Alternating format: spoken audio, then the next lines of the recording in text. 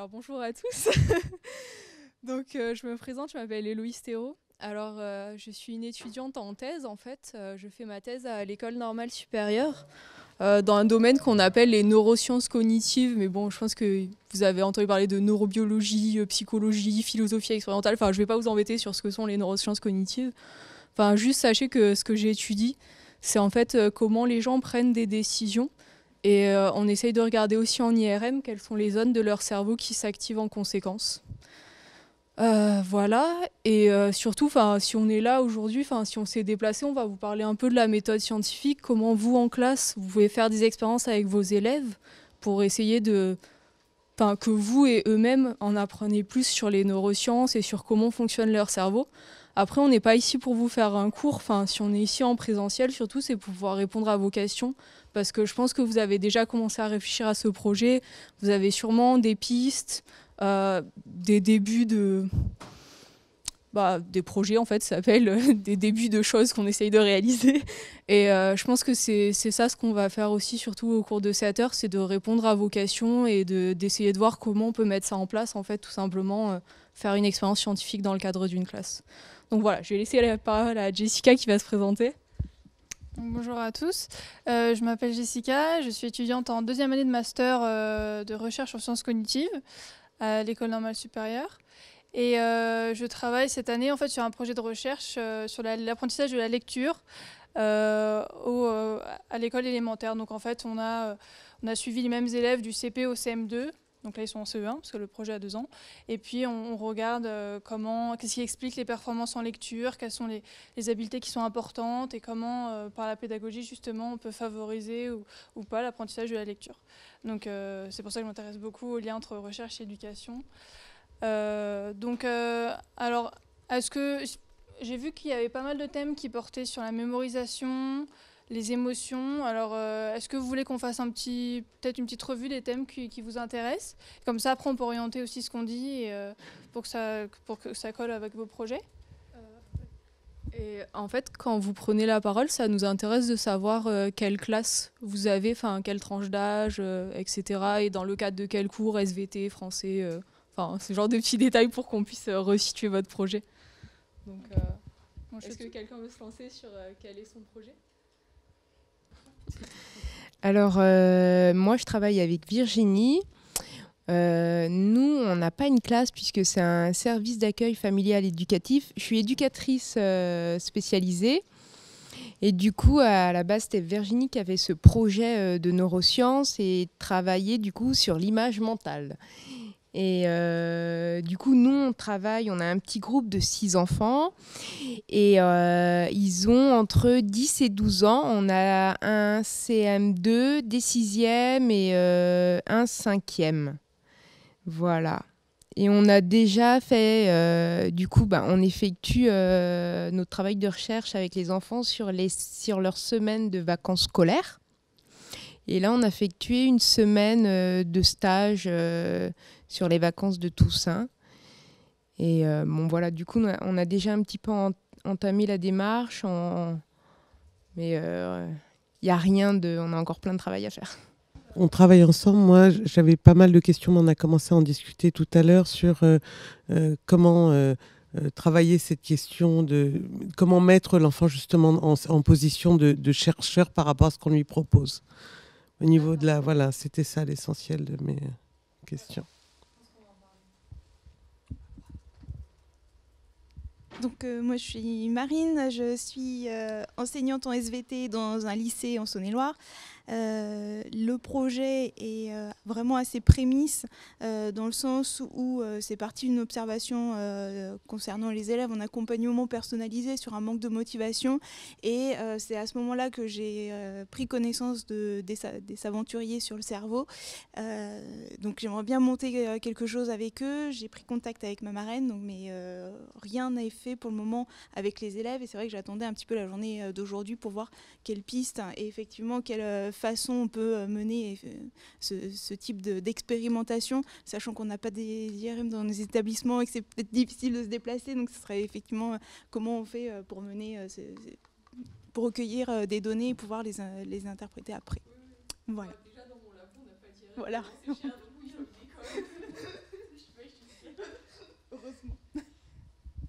bonjour, je m'appelle Albert, je suis chercheur. En fait, on parraine une classe et Mariam pourra vous en dire un peu plus, je pense. Euh, c'est juste pour rapporter. C'est juste pour relayer ce que notre binôme, euh, du coup, enseignante nous a dit, qu'elle était très intéressée par euh, savoir comment on gère les émotions et comment, une fois qu'on est énervé ou dans des situations tenses, comment revenir à, à ce, comment essayer de se calmer et reprendre le dessus. Bonjour, Colin Fiodo, je suis en Ulysse, donc avec des élèves en adolescents, collège, en situation de handicap. Et voilà, on aimerait travailler avec mon travail avec Jessica sur euh, essayer de voir quelle stratégie peut les aider à développer leur attention et éventuellement leur mémoire. Ils ont entre, entre 6e et 3e, donc entre 12 et 16 ans.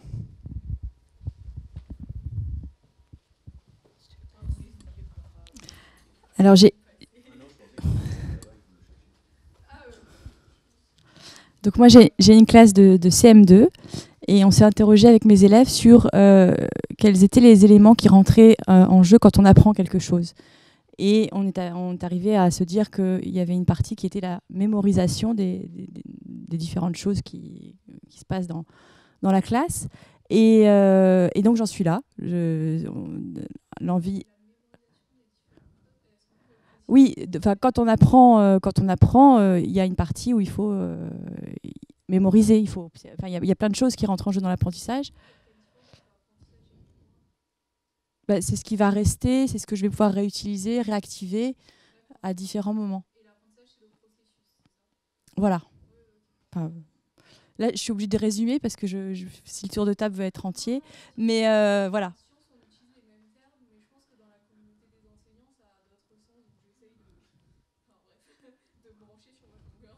Voilà.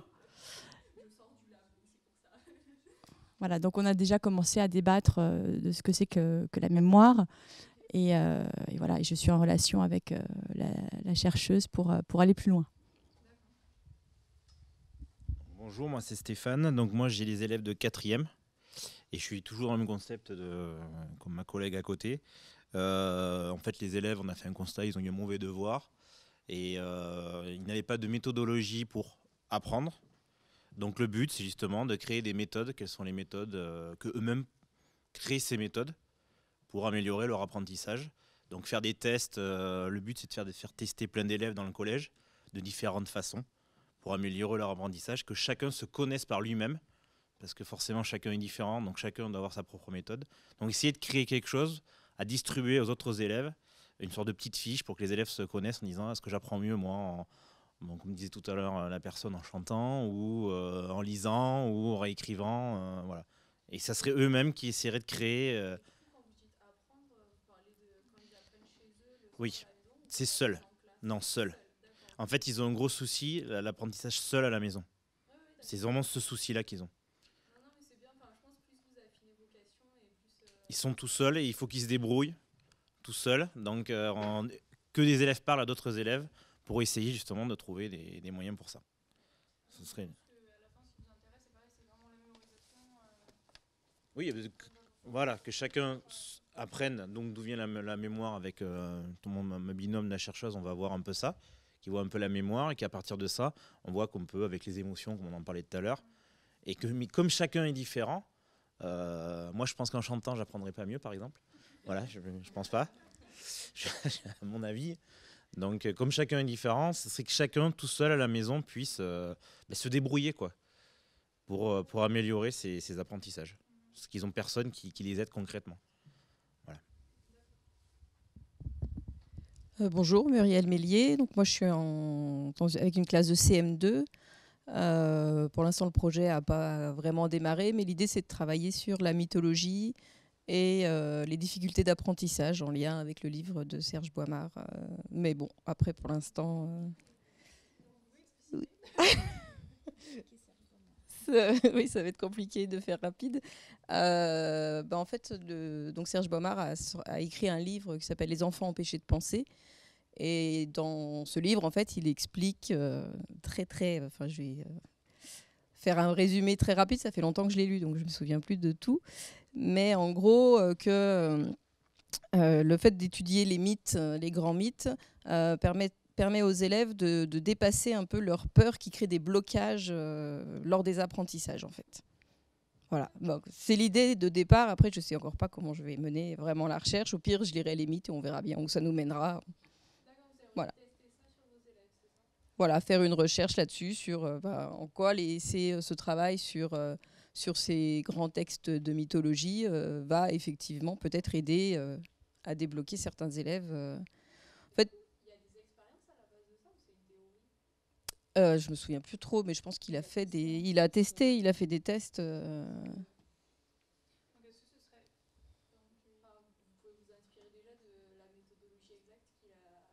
Oui, oui, ça, je pensais euh, prendre le temps de relire le livre. quand j'aurai le temps, c'est ça le problème. Entre minuit et 2 heures du matin, c'est toujours pareil.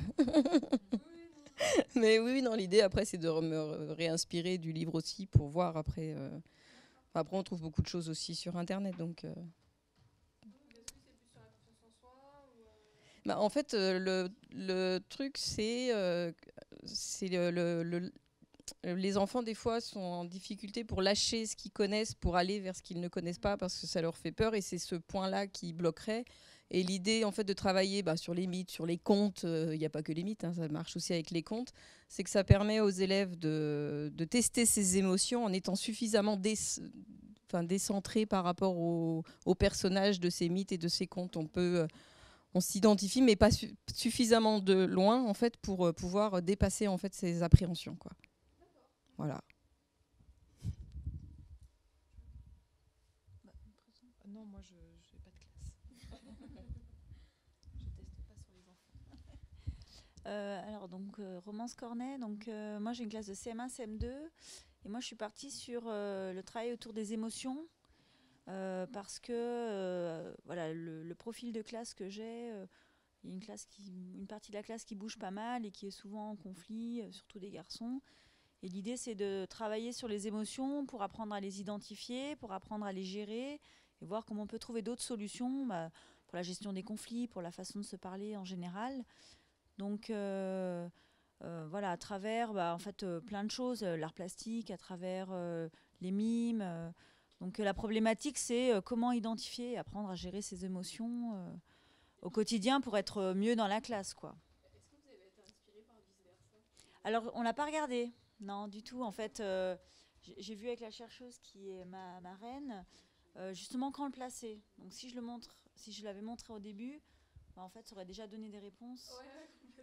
Donc, j'ai ni montré les C'est pas sorciers, ni montré en fait vice-versa. Bon, sachant qu'il y a des enfants qui l'ont vu au cinéma. Hein.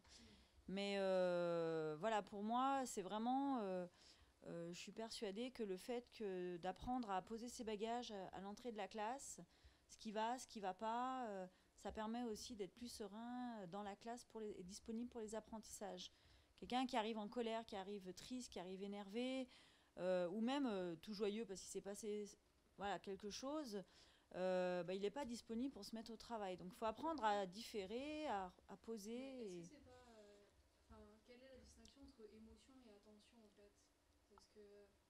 ben, si on est plein de ses émotions, on n'est pas disponible pour se mettre au travail et se poser dans son travail, en fait. C'est apprendre. Oui. Après, voilà, pour moi, c'est euh, comment est-ce que les enfants vont-ils. Euh, euh, comment est-ce que je vais les aider à apprendre à gérer les émotions pour être disponibles en classe, quoi. Comment est-ce que quand ils sont, ils ont une dispute, qu'ils sont pas d'accord entre eux, comment est-ce qu'on peut leur apprendre à dire bon, je réagis pas à chaud, je me pose et on essaye de dialoguer plutôt que de se taper dessus, par exemple. pour moi, il y a deux ça. en fait, euh, que je vois à travers ce que vous me dites. Il y a d'une part le conflit des émotions, mmh. enfin, la gestion du conflit et la régulation des émotions, les tout d'un coup. Enfin, en gros, il y a des émotions, comment on gère ça.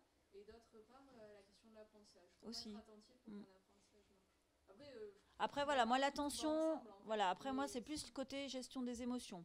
Oui, oui, après, voilà, oui, oui. Après, voilà, moi je reste plus sur la gestion des émotions et euh, voilà, comment arriver à les, les, identifier, en parler et puis euh, bah, s'en défaire un petit peu. quoi. Euh, je m'appelle Amélie Vacher. Euh, moi, j'ai une classe de CE2 et, euh, et je vais essayer d'explorer l'apprendre à travers des questions de sciences humaines. donc, qu'est-ce qu'apprendre, comment, enfin, pourquoi apprendre, comment apprendre, et essayer d'établir un lien entre apprentissage et plaisir. Voilà. Donc, j'ai euh, parce qu'il y a de la philo, bah, parce que pourquoi apprendre euh, euh, Qu'est-ce que le plaisir C'est plutôt de la psycho. parce que comment apprendre si on apprend avec les pères, c'est de la socio. Enfin voilà, parce que voilà. Donc essayer de réfléchir sur plusieurs questions autour de l'apprendre et essayer de créer un lien. Créer un lien. Non, explorer un lien entre apprentissage et plaisir. Qu'ils essayent de de tester, de créer eux-mêmes des situations qui leur font plaisir pour voir s'ils sont plus efficaces parallèlement à des situations de déplaisir où on verra, où on testera aussi l'efficacité.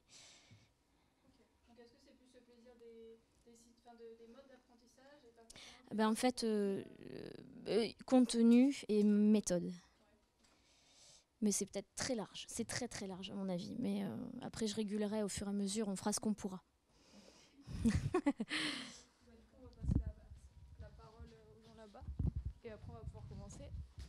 Alors euh, là, c'est fait, c'est fait, madame, vous avez parlé euh, Ah, vous n'avez pas de classe euh, D'accord. Ok, bah, il n'y a pas de souci.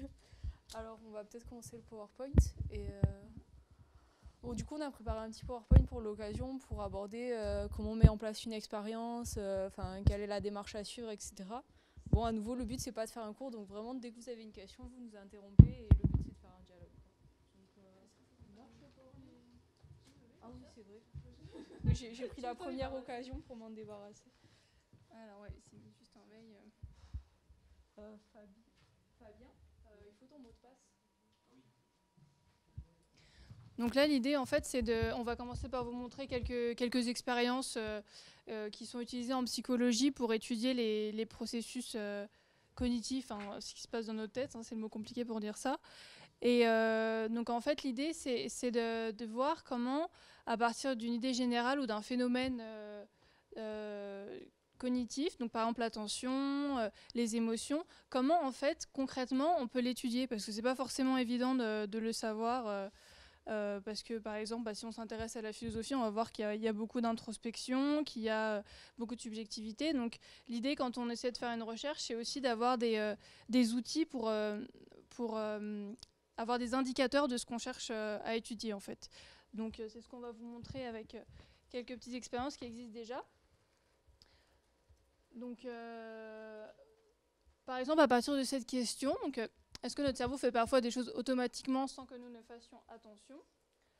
Il y, a, y, a, plein de tâches qui permettent déjà de, mesurer un peu ce que ça peut être l'attention et, les processus automatiques.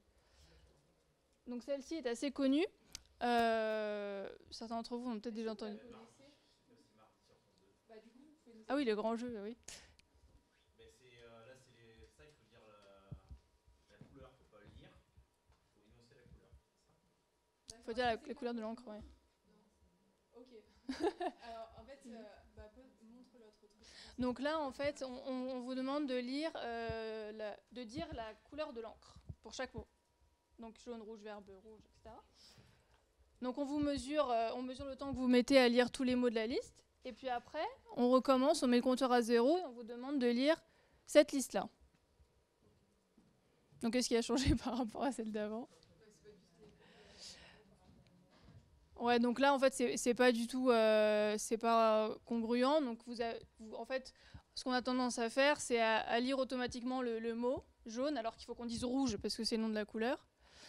Et en fait, euh, cette tâche-là, donc quand on mesure, on voit euh, en général qu'on met plus de temps à lire cette liste-là que celle d'avant, et qu'on a aussi pas mal d'erreurs.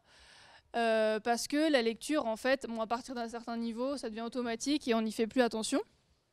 Et donc, en fait, on a une espèce de réponse automatique et intuitive qu'il va falloir inhiber, enfin mettre de côté, pour vraiment se concentrer sur, sur le nom de la couleur. Donc, c'est quelque chose voilà, qui permet d'aborder l'attention, euh, l'inhibition, qui est un phénomène euh, assez important et qui s'applique aussi, j'en parle pour ceux qui s'intéressent aux émotions, aux émotions, euh, qu'il va falloir aussi contrôler et mettre de côté dans certains cas. Et par rapport à la mémoire, donc il y a un thème qui vous intéresse beaucoup aussi. Donc qu'est-ce qui peut nous déconcentrer et nous empêcher de mémoriser des informations? Là c'est pareil, on peut faire des expériences là-dessus. Donc à partir de l'idée, donc ça, on, va vous expliquer un peu après comment on trouve ces informations-là. Mais il y a l'idée quand on apprend, on a besoin à la fois de, de garder des informations dans sa mémoire et de les utiliser pour apprendre. Donc par exemple si j'apprends une liste de chiffres, euh, je vais me dire 2, 3, 5, 6, 7. Je vais la garder dans ma tête pour essayer de, la mémoriser. Et alors, comment on peut voir si quelque chose nous empêche de faire jouer cette mémoire de travail, donc de, maintenir de l'information et de s'en servir en même temps? Ben, On peut demander aux enfants de retenir une liste de mots. Donc, on va, on va, leur, euh, on va leur, passer sur, leur flasher des, chiffres sur un écran, on va leur dire à l'oral. Et puis après, on peut leur demander, bon, on va faire la même chose, mais euh, cette fois-ci, en même temps, vous allez taper dans les mains. Et on va voir si euh, ils arrivent aussi bien à mémoriser les chiffres. Et puis on peut le faire une troisième fois en disant, bah, en même temps, euh, on va vous mettre, on va vous mettre les chiffres sur un écran petit à petit, et puis en même temps, vous allez faire là, là, là, là, et puis vous allez aussi essayer de, retenir les chiffres. Donc est-ce que le fait de parler en même temps, ça va vous gêner pour la mémoire? Et puis après, on peut essayer en plein de choses, en écoutant de la musique. Enfin, a, on peut inventer plein de, plein de choses. Pourquoi vous avez mis ces exemples? Parce que c'est des choses qui sont faisables en classe, typiquement? C'est-à-dire qu'il y a des expériences en psychologie où, par exemple, il faut que quelqu'un soit seul devant un écran d'ordinateur pendant une heure. Ça, je pense que vous savez tous que mettre 30 gamins devant un écran pendant une heure, il faut faire attention. Voilà, mais ça, typiquement, c'est des trucs qui sont possibles de faire soit seul, soit à plusieurs, et d'un temps scolaire, en fait. Enfin, on a voulu vous mettre des exemples concrets que vous-même vous pouvez faire. Et puis, euh, donc là, c'était des exemples pratiques. Après, donc on va revenir un peu sur la démarche euh, euh, qui est, enfin, il y a des démarches assez typiques en fait pour, pour élaborer de problématiques à partir des thèmes qui, qui vous intéressent. Donc déjà, donc, ce qu'on a fait là avec vous, c'est de savoir quel est le thème général. Donc j'ai l'impression que vous avez tous déjà défini ce thème. Et après, en fait, l'idée, donc pour savoir comment on met en place des expériences comme celles qu'on vous a présentées, il faut déjà qu'on se pose une question de recherche assez précise en fait. Donc, ce qu'on va faire, c'est qu'on va regarder euh, ce qui existe sur le sujet, donc l'attention. Par exemple, euh, on va regarder euh, sur Internet, on va regarder dans des livres, des vidéos de conférences, comme vous voulez. Et puis, on va essayer de, savoir déjà ce que c'est que l'attention. Alors, c'est quelque chose, en fait, qui peut sembler très rébarbatif, mais de faire des définitions, souvent, ça aide énormément déjà à savoir ce dont on parle, à se mettre d'accord avec les élèves aussi, parce que des fois, on n'est pas d'accord, alors que c'est juste qu'on ne parle pas de la même chose. Euh, et, ça permet d'élaborer petit à petit une question de recherche. Donc, euh, de savoir ce qu'on va chercher vraiment à étudier. Donc là, par exemple, c'était est-ce que la musique nous distrait-elle euh, et, déjà d'avoir en fait une question assez précise, ça permet de, savoir ce qu'on va utiliser comme matériel. en fait, ah oui, c'est vrai, il y a ce micro. En fait, la différence entre le thème et la question de recherche, c'est que votre thème, ça peut être une question. Enfin, typiquement, j'ai entendu comment est-ce qu'on régule des émotions alors je sais plus un truc sur la mythologie, est-ce que la mythologie nous aide à apprendre Enfin, voilà, c'est des questions. Mais la différence entre le thème et la question de recherche, c'est que la question de recherche, c'est une question qui est... Pardon? Ah ok. La question de recherche, en fait... De quoi? Ok, je comprends plus rien. La, question de recherche, en fait, c'est une question que vous allez pouvoir tester de façon expérimentale. C'est-à-dire qu'à la fin, vous allez faire votre expérience, le résultat de votre expérience va vous donner la réponse à votre question. C'est-à-dire oui, non, dans quelle mesure, dans quelle proportion, dans quelle quantité. Alors que votre thème, typiquement, comment est-ce qu'on régule des émotions, vous voyez bien que c'est un thème qui est tellement général que vous ne pourrez jamais y répondre avec qu'une seule euh, expérience. Donc, le truc, c'est que vous pouvez très bien faire un processus interactif, c'est-à-dire vous arrivez avec vos élèves, peut-être vous-même en tant qu'enseignant, vous avez un thème, ou alors vous pouvez aussi bien dire aux élèves, on va faire une expérience, quels sont les thèmes qui vous intéressent. Enfin, je ne sais pas si vous voulez, vous voulez que l'approche vienne de vous ou plutôt des élèves, bon, chacun fait ce qu'il veut dans sa classe. Mais ce qui est intéressant, c'est que vous voyez qu'il y a un pas à faire entre le thème et la question de recherche, et ça, ça peut prendre l'objet de plusieurs séances. Vous parlez d'un thème ensemble, vous définissez une question plus précise, et après, soit vous-même en tant qu'enseignant, vous faites la recherche bibliographique pour avancer et pour avoir une expérience à leur faire faire, soit vous pouvez aussi demander à vos élèves, bon, tout dépend de la motivation et des modalités bien sûr, mais demander à vos élèves de faire eux-mêmes la recherche bibliographique pour que, au fur et à mesure, en passant d'un thème qui est une question super large, vous arriviez à une question de recherche et un plan de recherche. C'est-à-dire, ensemble, on va faire cette expérience. Dans cette expérience, on va mesurer cette donnée, cette variable. Et si on a tel résultat, on l'interprétera comme ça, c'est-à-dire on donnera soit la réponse oui ou non à notre question. Si on a tel résultat, qu'est-ce qu'on en fait?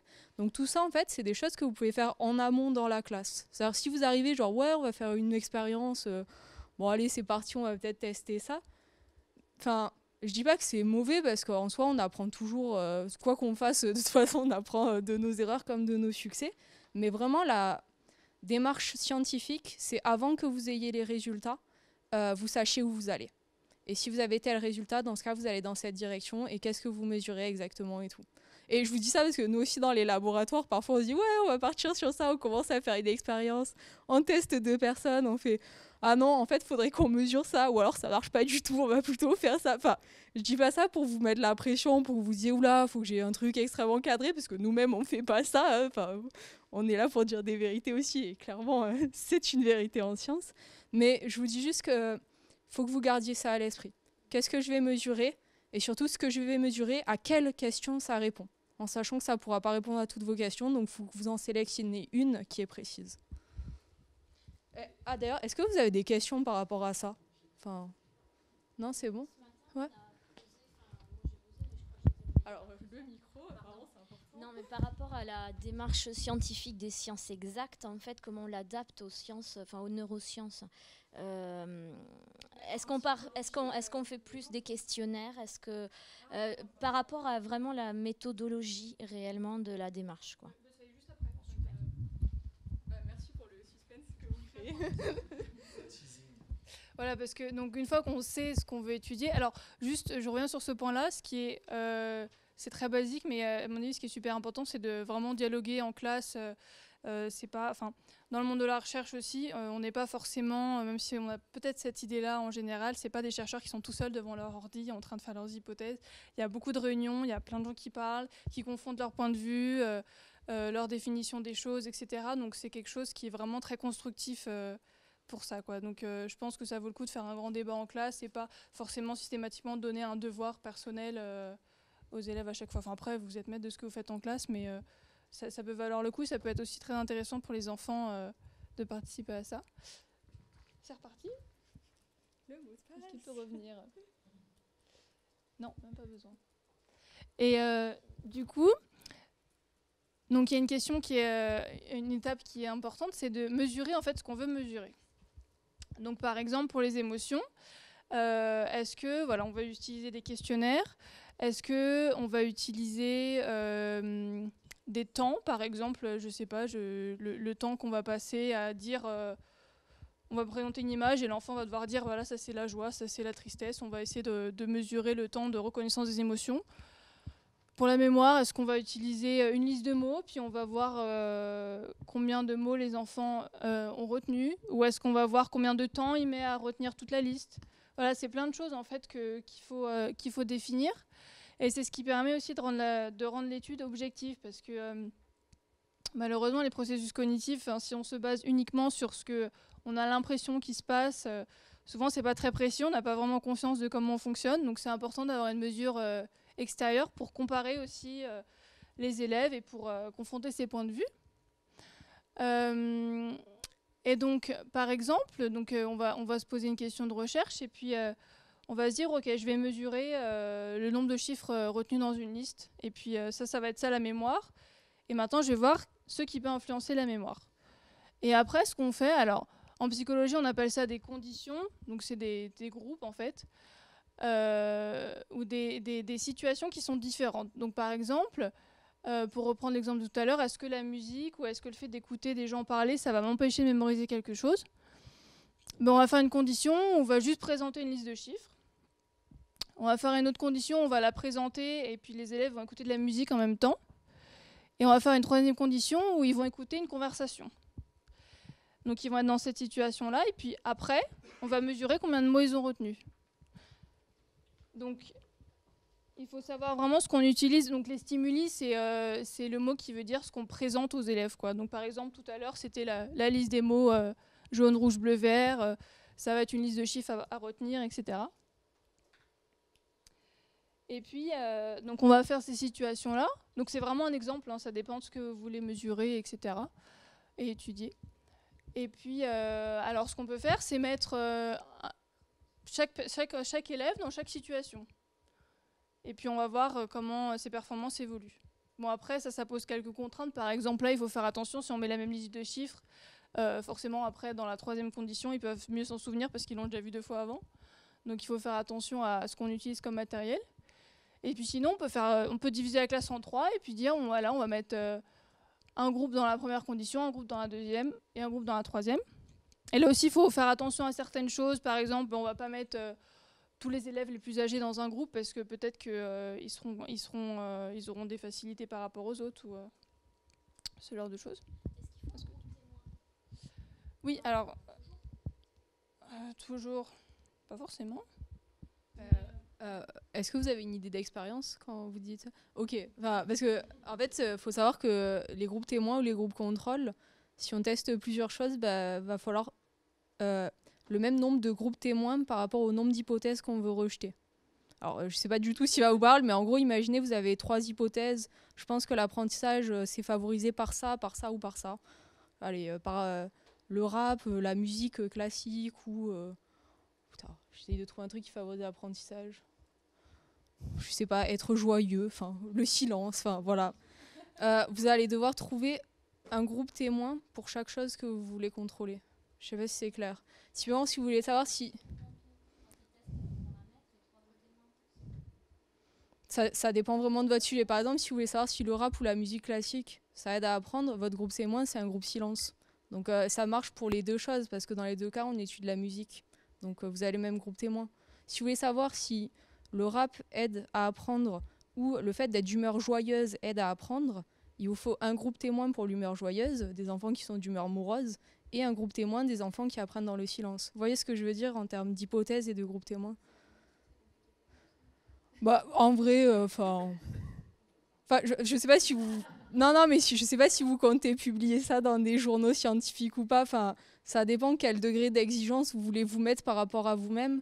Et aussi, ce qu'on nous a dit, c'est qu'en fait, quand on met les élèves dans une situation d'incertitude, c'est-à-dire qu'on leur dit, voilà, on a telle hypothèse et telle hypothèse, et selon les résultats de l'expérience, ça ou ça, ça va être vrai. Les élèves, il paraît qu'ils aiment pas du tout ça. Enfin, moi, je l'ai pas fait, on nous l'a raconté. Que les élèves sont là, font, mais euh, forcément, il n'y a qu'un truc qui est vrai sur euh, euh, l'autre. Et typiquement, si un truc est vrai, il doit être vrai pour tout le monde. C'est-à-dire, s'ils vont voir que certains élèves apprennent mieux grâce au rap, alors que d'autres apprennent mieux par la musique classique, mais là, ça va être gros débat pendant une heure. Mais pourquoi? C'est pas normal. ça marche pas cette expérience. Donc, c'est ce qui est compliqué à faire de l'expérimentation d'un cadre scolaire, c'est que les élèves sont pas du tout confrontés à cette démarche de façon habituelle. Habituellement, on leur fournit un savoir qui est carré. C'est euh, voilà, la vie, ça marche comme ça. Il y a des atomes, il y a du vide. Enfin, c'est pas parfois il y a des atomes, parfois il y a du vide. Donc, euh, je pense qu'en tant qu'enseignant, c'est surtout ça que vous aurez à gérer. Et après, tout ce qui est de la rigueur scientifique, on va dire, je pense que ça dépend. Si ce que vous faites, c'est un projet qui avant tout est scientifique pour vous, eh bien faites attention à tout ce qui est de la rigueur scientifique. Si vous voulez que ça soit un projet pédagogique, c'est-à-dire que vos élèves apprennent en faisant des expériences, ben, faites attention à tout ce qui est accompagnement pédagogique. Enfin, je ne peux pas vous donner une réponse claire, ça dépend vraiment des objectifs que vous fixez en tant qu'enseignant. moi, ça va être plutôt un, un conseil que je vous demande, c'est comment choisir le panel pour les expériences. Parce qu'imaginez, je fais un test, je fais du hasard pur, prends des élèves, allez, j'en mets 5 ici, 5 là, 5 là, sauf que les 5 à la base ont plus de capacité pour apprendre que les autres. Imaginez, je les mets les 5 qui sont super bons à la base à apprendre, à faire écouter du rap. 5 qui euh, ont des difficultés à apprendre, et eux, je leur mets euh, la musique classique. Et ben, forcément, les résultats sont faussés. Donc, Alors, euh, il y y a deux façons de faire. Soit vous prenez vos élèves, vous les classez selon une liste, alors truc est plus intelligent, c'est horrible à faire. Et après, vous répartissez euh, dans chaque groupe, je sais pas, leurs notes dans votre matière, euh, à quel point vous avez l'impression qu'ils sont intelligents. Vous faites un classement qui soit le plus objectif possible et après vous répartissez dans chaque groupe de façon à ce que la moyenne soit identique dans chaque groupe. C'est-à-dire que dans chaque groupe, il y a des élèves plus ou moins bons, plus ou moins intelligents. Ça, c'est galère. Moi, ce que je vous conseille de faire, c'est vous prenez un dé, vous donnez un numéro à chaque élève, vous tirez au dé, et selon le numéro qui sort, vous le mettez dans le groupe 1, 2 ou 3. Et ça, c'est ce qu'on fait en sciences. C'est-à-dire, le- les gens qui viennent... Ah, mais ah, c'est... Mais c'est... Alors ça... Exact. Exactement. Mais le potentiel, c'est c'est le, le- voilà, c'est qu'en fait, il faut que je vois si j'ai que mes 14 élèves, ma classe, ou si on me donne l'autorisation du collège. Si vous avez on me juste donne votre classe, voilà. par exemple, vous pouvez faire plusieurs fois. Gros, forcément, en faisant ça, voilà, ça va. J'ai ce souci de panel. En fait, ce qu'il f- ce qu'il faut savoir, euh, juste, enfin, ce qu'il faut savoir, c'est qu'en sciences, euh, nous, on fait passer des participants qu'on ne connaît pas. C'est-à-dire les sujets de nos expériences, les gens qui participent à des on ne les connaît pas. Vous, vous connaissez vos élèves, donc vous avez des pieds en plus par rapport à nous, et auxquels on n'est pas confronté. Je les connais, j'ai peur.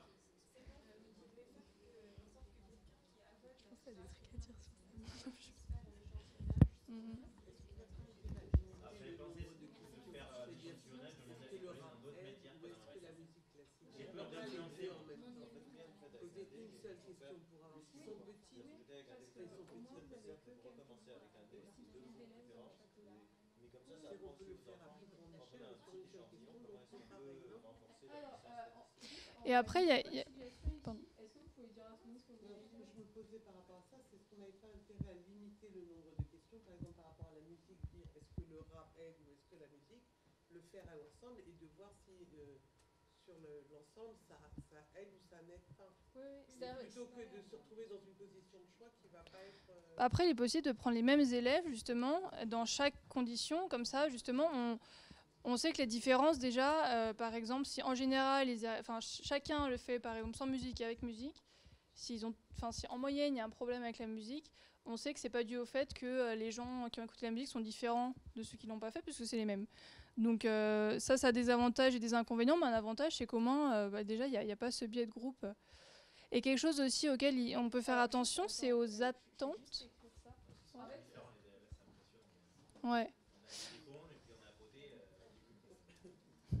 Et il y a quelque chose qui joue un rôle aussi, euh, c'est les attentes en fait qu'on induit, c'est une sorte de biais, c'est les attentes qu'on induit chez les enfants. Donc il faut faire attention aussi à pas, si vous faites des groupes, pas faire des, attentes euh, différentes par rapport aux élèves. Par exemple, euh, euh, ceux qui sont dans un certain groupe, on leur fait comprendre déjà que leur groupe c'est un peu plus difficile ou que on les a sélectionnés pour être dans ce groupe-là parce que c'est plus fun ou je sais pas. Enfin, faudrait qu'ils soient dans les mêmes conditions. déjà qu'ils ne se sentent pas dans des positions inégalitaires parce qu'en fait c'est des choses qu'on peut induire tout bêtement. Euh, Enfin, vous prenez un groupe d'élèves et vous, euh, vous êtes persuadé que qu'ils sont plus intelligents ou vous leur faites croire ça et ça va ça va changer euh, les résultats quoi. Oui, c'est connu. Si on dit aux filles qu'elles vont faire un exercice de maths, et quand on dit vous allez faire un exercice sans préciser mathématiques, les résultats étaient meilleurs. Ouais, parce que les filles croient qu'elles sont moins bonnes en maths que pour n'importe quoi. Ah oui, c'est des trucs de fou et il faut faire vachement attention. Euh, juste pour faire un petit point méthodologique, donc ce qu'on disait, est-ce qu'on fait différents groupes ou est-ce que la même personne, on lui fait passer euh, les deux conditions expérimentales? Donc ça, c'est un gros problème en sciences et euh, on l'a au laboratoire. En gros, c'est la question, est-ce qu'on fait un truc intersu- intersujet? C'est-à-dire que ici, vous avez trois élèves. Alors, je dessine très mal les élèves, mais vous me faites le plaisir de les reconnaître. Donc, euh, ici, vous avez six élèves. Donc, vous avez trois élèves qui passent une condition, trois élèves qui passent une autre condition et vous comparez euh, leurs résultats. Ou alors, est-ce qu'on fait l'expérience en intra-sujet? C'est-à-dire que ici, vos trois élèves, ils commencent par passer la condition 1 et après, les trois mêmes élèves passent la condition 2. Vous voyez? Donc, euh, au moins, vous avez. Et pareil, les élèves qui ont commencé par passer la condition 2, après passent la condition 1. L'avantage, c'est qu'ici, dans chaque groupe, vous avez trois élèves, un, un échantillon de trois élèves, alors qu'ici, dans chaque groupe, à la fin, vous avez six élèves. Vous voyez que avec, en fait, il y a des avantages et des inconvénients à ces deux méthodes. C'est-à-dire que, ok, vous augmentez votre nombre de groupes, mais dans la méthodologie intra-sujet, vous avez des effets d'ordre. C'est-à-dire que peut-être commencer par avoir du rap, puis de la musique classique, ça change quelque chose à avoir d'abord de la musique classique, puis du rap. Et bien là, bienvenue dans nos problèmes de scientifiques, où à chaque fois on se pose la question, est-ce que j'ai fait la bonne méthode? Et ben, ce sont des discussions sans fin. Mais voilà, je voulais juste vous dire qu'il y avait ces deux méthodes qui étaient possibles, enfin, exactement comme Jessica l'avait dit, donc gardez-le en tête. Il peut aussi y avoir pardon, juste des effets d'apprentissage. Donc, euh, si vous mettez euh, ce qu'on disait avec la liste des mots, des chiffres tout à l'heure ou, n'importe quoi, mais euh, si vous mettez le même texte par exemple à retenir, euh, et que vous l'utilisez à la fois sans musique et à la fois avec musique, euh, le fait que déjà les, élèves euh, l'aient déjà vu, ça va influencer. Donc c'est l'idée en fait de faire deux groupes et chacun commence par une condition plutôt que l'autre. Comme ça, on peut aussi faire attention à ces effets d'apprentissage. C'est clair? Ouais? Ok. le méta-apprentissage du coup. Le fait que d'une session à une autre, euh, vous apprenez, enfin, vous réapprenez pas de nouveau. Quoi. À chaque fois, euh, vous apprenez, ça vous sert pour la suite. En vrai. Euh, juste une petite question par rapport aux échantillons. Est-ce qu'à la place de lancer le dé et le faire au hasard, on peut laisser les enfants choisir ceux qui veulent tester le rap, ceux qui veulent tester le silence, ceux qui veulent tester la musique classique? Est-ce qu'on peut, aller les... Est qu'on peut les laisser aller vers leurs affinités ou pas? Alors, nous en sciences, on adore garder le pouvoir. C'est-à-dire les gens qui viennent faire des n'ont aucun pouvoir sur ce qui se passe. En tant qu'enseignant, je sais pas ce que vous voulez faire. Moi, Est-ce j'aurais que ça va tendance biais- à- est-ce que ça va biaiser Non.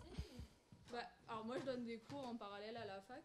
Je déteste faire choisir mes étudiants parce qu'après c'est la guerre. Non, moi je veux faire ça, moi je veux faire ça. Donc personnellement, je leur impose toujours les trucs qu'ils doivent faire. Si vous voulez, euh, pour qu'ils se sentent plus actifs dans cette recherche et pour qu'ils aient l'impression d'être impliqués. Enfin, euh, vraiment, je pense que c'est en tant qu'enseignant qu'à chaque fois vous avez, euh, vous vous posez la question est-ce que je les laisse choisir leur sujet d'exposé ou est-ce que je leur impose? Enfin, à mon avis, vous avez beaucoup plus l'habitude de traiter. Pour ne pas biaiser l'expérience scientifique là, du coup. Oui, non, oui, c'est un biais. Et c'est pour ça que nous on fait ça au hasard. Mais des fois, alors dans, les recherches en éducation, en fait, euh, des fois, par exemple, il y a des recherches qui vont étudier les, effets d'un- d'un- d'une méthode d'apprentissage sur, euh, sur le- les acquisitions des élèves. Et les chercheurs peuvent, euh, par exemple, laisser les enseignants choisir la méthode qu'ils veulent utiliser. Et ils font ça, en fait, pour la simple et bonne raison que, du coup, ils espèrent qu'ils sont tous aussi engagés dans ce qu'ils font. Donc, du coup, qu'il n'y ait pas un groupe plus motivé qu'un autre et, euh, et que finalement, il n'y ait pas de- d'effet euh, placebo, enfin de biais euh, à ce niveau-là. Donc, ça peut aussi être. ça peut se faire aussi, je pense. Mais, Ouais. Et, c'est là où vous comprenez, je pense, pourquoi pas mal de chercheurs aiment travailler avec des souris et des rats, parce qu'ils n'ont aucun problème avec ce genre de questions. et vous, vous y êtes confrontés. Remarque, je crois qu'il y avait quelque chose sur les souris. Quand tu penses qu'elle est intelligente, tu t'en occupes pas de la même manière. que- Ah bon, après, C'est- euh, pas très loin euh, après. le problème parce Ouais, c'est que, vrai. euh, il se trouve que si l'expérimentateur est une femme ou un homme, on a des résultats différents sur le comportement des souris. On a trouvé des trucs de fou chez les animaux. Mais disons qu'en science, on a tendance à déconsidérer tout ça et à penser que ça n'a pas d'effet, mais oui. euh, Il y a aussi plein d'effets bizarres sur les animaux, mais on préfère se dire qu'ils n'existent pas pour euh, pas avoir trop de débat entre nous, on va dire. C'est nos élèves qui font des expériences en classe, qui est un ou deux groupes, ça ne marche pas, moi je suis content. De quoi Je suis content, par exemple, il y a six groupes, il y en a quatre, ça a super bien fonctionné, il y en a deux où ça va fonctionner. Je suis content, je leur dis, mais très bien. Je leur explique que c'est ça les sciences. Ah, fois, complètement euh, on travaille sur les chloroplastes, euh, c'est impressionnant. Il y, a des, il y a des matins à 8h30 avec un peu de soleil, super. On a dioxygène, et alors euh, 3 heures après, Alors, c'est impressionnant. Ça, c'est génial. C'est les trucs que- qui Ah oui, non, mais c'est- euh. C'est les trucs qui sont jamais écrits dans les articles scientifiques, mais quand on arrive dans un labo, c'est les bruits de couloir. Genre, fais ton expérience à 3h du matin quand la lune est pleine et ça marche. Enfin, ah, je suis d'accord avec vous. c'est fou, hein. Ouais. Bon, bref. euh, donc, sinon, il nous reste 5 minutes 6 minutes. Est-ce que vous avez des questions plus précises par rapport à votre projet euh, Alors du coup, je vous mets juste en fond des petites références. Bon, ça, c'est un peu tout ce qu'on a dit, que les, même si c'est pas ce qu'on attend, c'est intéressant, etc. Euh, Il y a des exemples de questions, mais ça, après, on peut le voir ensemble euh, après hein, pour, euh, pour affiner un peu. Là, on a juste mis des petites euh, références. Donc, euh, Le Grand Larousse du cerveau, c'est un- une encyclopédie, mais elle est super bien faite. J'aime pas, j'ai l'impression de faire de la pub, mais elle est quand même bien faite. Euh, ça coûte 30 euros et en fait, il y, a- vraiment beaucoup de thèmes. Euh, vous avez le thème de la mémoire, des émotions, de la vie sociale, euh, tout ce que vous voulez. Et il y a plein de, schémas. Et enfin, moi, je l'avais utilisé pendant mes études et ça aide à clarifier un petit peu. ça va aborder tous les différents types de mémoire, etc. Bah pareil, si vous voulez aller un peu plus loin après le grand Larousse du cerveau, il y a un livre qui s'appelle Traité du cerveau. Je sais pas si vous avez entendu parler de l'homme neuronal qui a été publié par Jean-Pierre Changeux. Donc ça, c'était la Bible dans les années 80-90. Maintenant, il y a une nouvelle Bible sur le cerveau qui est sortie, s'appelle Traité du cerveau de Michel Imbert. Enfin, c'est pas pour faire la pub, Michel Imbert. C'est c'est ju- euh, 20 euros. Euh, ah d'accord, pardon. Je suis beaucoup trop matérialiste. Euh, À la télé, il est très bien, il discutait très bien, vous prenez un de ses livres, c'est compliqué quand même. Ben, je, je sais pas quoi vous dire. Je pense que ça, ça dépend beaucoup de la motivation, j'ai envie de dire aussi. C'est des sciences, donc c'est un peu obtus, mais euh, c'est sympa quand même. Enfin, c'est juste pour dire, il y a plein de bouquins de vulgarisation qui défend euh, une approche du cerveau ou une idée. Euh, ça, ça essaye de faire un panorama global. C'est assez rare dans les bouquins de vulgarisation. Voilà. Je te laisse décrire. Et du coup, ouais, alors au niveau magazine, euh, bon ça c'est personnel, mais je trouve que le cerveau psycho, il est quand même bien fait. Et en fait, je me suis rendu compte euh, dans mes études qu'ils sollicitaient enfin, des vrais chercheurs euh, qui sont confirmés, qui relisent les articles. Donc, euh, et souvent, enfin, par exemple, j'ai eu des cours avec des profs qui ont écrit dans le cerveau psycho et ça correspond. Quoi. Donc c'est aussi, je pense que c'est une bonne source. Je sais pas ce que tu en penses. Complètement. Cerveau et psycho et pour la science, ce sont vraiment de bons magazines. Et ils font souvent des dossiers thématiques en plus. Après, il y a eu le site de Stanislas Dehaene, Mon cerveau à l'école. Euh, par contre, par rapport à vos problématiques, j'ai pas vu beaucoup de, posts là-dessus. C'est plus sur la lecture, les maths, etc. Donc, je vous recommanderais plutôt le site de la main à la pâte pour ça. C'est un organisme qui crée des activités pour enfants dans les classes. Et euh, ils ont, enfin, c'est validé. Ils mettent beaucoup de temps à créer les, à créer les supports. Euh, donc, ils, voilà, ils testent par exemple si c'est faisable en classe, euh, combien de temps ça prend. Donc, c'est bien rodé. Et puis, euh, il y a beaucoup de choses sur les thèmes dont vous avez parlé aussi. Donc, ça peut être une bonne source d'inspiration. Voilà. Bon, après, on vous laisse la parole. Alors, combien de temps il reste? 3 minutes. Est-ce que quelqu'un a une question Enfin, sinon, on peut vous lâcher en avance aussi. Comme vous préférez. Bah, N'hésitez pas à venir nous voir euh, après. Enfin, voilà, si vous voulez des, des réponses en plus.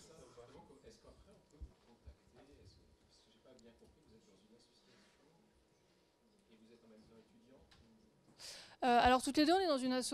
euh, Alors, qui si vous voulez, je peux vous laisser mon... enfin, on peut vous laisser notre mail à toutes les deux. Et si vous avez Mhm. des questions plus poussées, ça peut se faire par mail. Ça vous intéresse?